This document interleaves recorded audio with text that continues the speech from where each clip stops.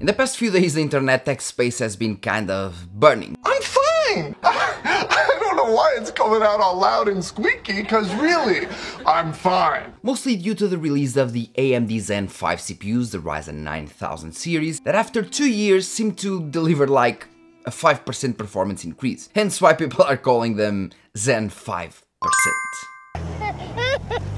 According to my own benchmarks, the 9700X can deliver up to 10% more FPS, and the 9900X is actually not bad in terms of price performance, if compared of course to the 7900X 3D for example, as it delivers around the same gaming performance but better productivity performance for $40 more. But the point still stands, their gaming performance is underwhelming. But before it's time to pay the bill since I just got a new house, with our sponsor. Wait, I didn't get a house with our sponsor. I did get a house and our sponsor is helping, obviously. GVG Mall! Bringing you lots of software deals like Windows 10, Windows 11, Office 2019 or 2021 with a new Windows 11 design, and for all of these you can use my SKAG discount code for 30% off, getting a Windows 11 serial key for $22 and a Windows 10 one for only 15. Then use the key on your Windows settings and you'll have an activated system. Over two years of development for just a 5% performance increase? And I believe this is why people are so mad about this release. But if you think about it, being mad about the release makes no sense. It is actually borderline dumb. And I'm not saying this to offend you, I've been there, uh, I've been mad for some reasons that I can't really explain and if I think about them, they make no sense.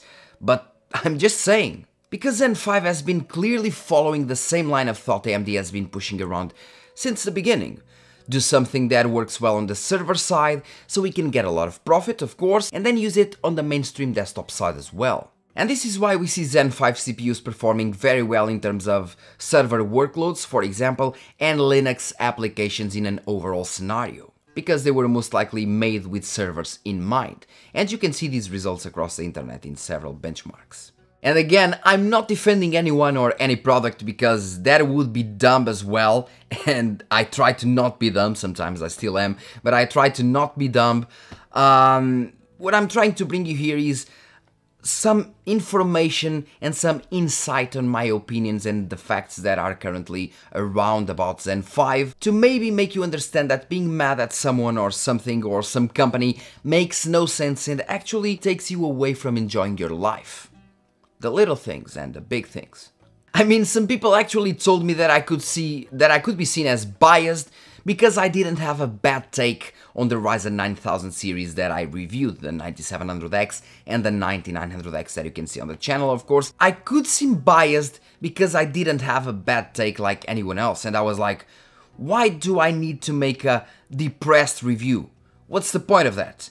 I test, I show you the benchmarks, I show you the data, and I give my opinions. And based on the data that you can absorb watching my videos and on my opinion you will then make your own opinion. And i believe that in my videos and in any other video the opinions are actually the, the, the less relevant thing. You should be looking at data first opinion second.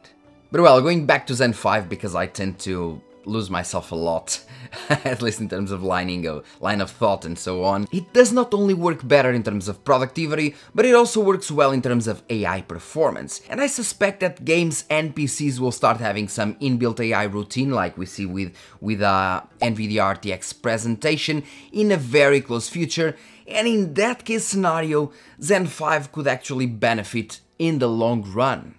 Not even mentioning the fact that we got some improvements that might actually lead that the Zen 5 X3D CPUs are the real Zen 5 ones.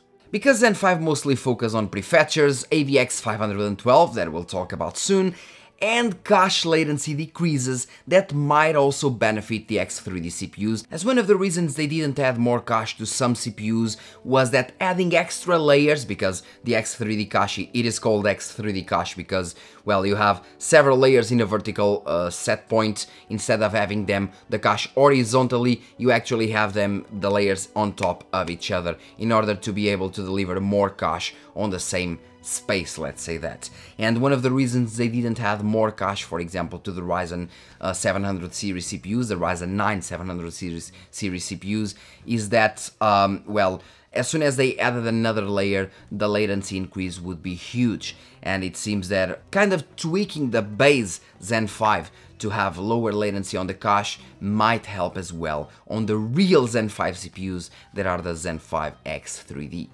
As for AVX 512, when some people went from Zen 3 to Zen 4, they saw massive increases in emulation performance, because emulation does use AVX 512 instructions, and that was a thing that only Intel had by then. But then, of course, AMD added the AVX 512 to Zen 4, and the increases in terms of emulation and some other workloads that actually make use of AVX 512, there are some games that do, in those scenarios the performance increase was massive and Zen 5 improves upon that, using a 512-bit data path for AVX 512, so technically emulation performance should have improved as well, but I didn't test it so I don't know, but technically it should. But sadly, we have lots of issues. Now, this all that I said, this is just information. Information that most times doesn't really make any sense to my viewers, since most of my viewers are gamers, and what they want of course is gaming performance. And for gamers, Zen 5 isn't worth it. Well, at least not yet. Some people have been speculating that Zen 5 is not working as it should and still needs a fair amount of microcode updates to work well. And according to the benchmarks I've done, I believe they're into something, as no company in their right mind would release a new CPU that actually performs worse than the previous generation CPUs in some scenarios. This while costing more money. And if they improved Zen 5 the way they said they did, then the performance should be considerably better across the spectrum of tests that we've been seeing. But no, only productivity, Linux benchmarking and maybe AI has been seeing some really really decent upgrades, which is odd. And if this is the case, AMD is the only one to blame here, because they shouldn't ever release a CPU without, well, finishing it. And I believe Zen 5 is not at its fullest or final form, like Frieza from Dragon Ball, yeah.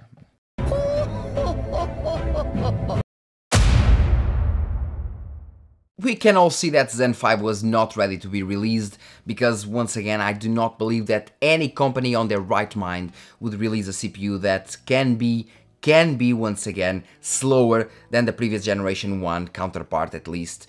Uh, in some scenarios. It makes no sense even when costing more money, even more when costing more money, so it makes no sense. So they might need microcode updates or maybe even a full revamp.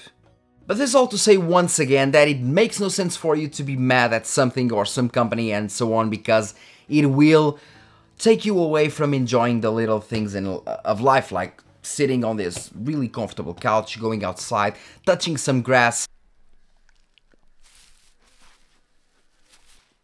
Doing a trip with your girlfriend, staying with your family, just that take your mind away from those hate speeches for those from those downsided reviews or so on, whatever, those doesn't really matter, just take your, your head away from it and do the best thing you can do as always, vote with your wallet. If you think that some company isn't worth or some company or some product isn't worth your money or they, that nobody should ever buy that product, then don't buy it. Vote with your wallet. This is the best way to make companies understand that they need to make changes. Because if you complain, but you then go and buy the product, the company will think, well, they do complain a lot, but talking or not, that's publicity to, to us and people are still buying, so it's a win-win situation. No, you need to vote with your wallet stay with your Ryzen 7000 series, move to Intel, do whatever you want, but if you think this is not worth it, if you think Zen 5 is not worth it yet at least, don't buy it. This is the only way that you can make companies change, because companies don't care about what you say, companies care about what you buy. And as soon as you understand that, you can actually, well, maybe lean back, close your eyes, take a deep breath, and start enjoying life. Thank you very much for watching this little video. Once again, I just wanted to give you some insights on my opinions, what I believe Zen 5 is or isn't, or what it should be or not, and of course, if it will improve or not, like that AI thing that I talked about. I mean, it did improve in some instances, but it is really, really a close shot in terms of gaming performance, being at most 10% faster than the previous generation, and that is not good enough, especially if you're if it is costing more money than the current generation or considerably more, in this case considerably more, because once again the 9700X for example is costing like 40 bucks more or 30 bucks more than the 7800X 3D, and the 7800X 3D is better in gaming, and if you consider kind of an overall performance, it is much better for 99% of people, so yeah. Thank you very much for watching. Don't forget to like, subscribe and share this video. Leave your comment in the comment section and let me know what you think about the performance, what you think about Zen 5. If it will improve or not, just let me know in the comment section. I really want to know. And yeah, see you in the next one, I guess. Cheers.